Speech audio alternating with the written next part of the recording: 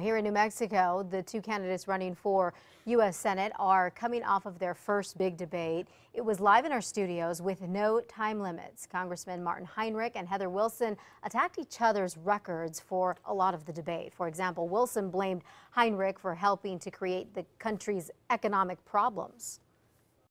We've lost 30,000 jobs. The price of groceries is up, the price of gas is up, the cost of a college education is through the roof and you're trying to help the middle class? I mean, quit helping.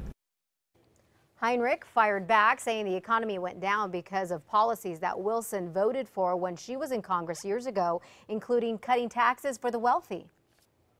I think it's ridiculous that we have people like Mitt Romney who make millions and millions a year paying 13 or 14 percent in income taxes when you're asking small businesses, you're asking uh, uh, teachers and firefighters, all to pay far more than that.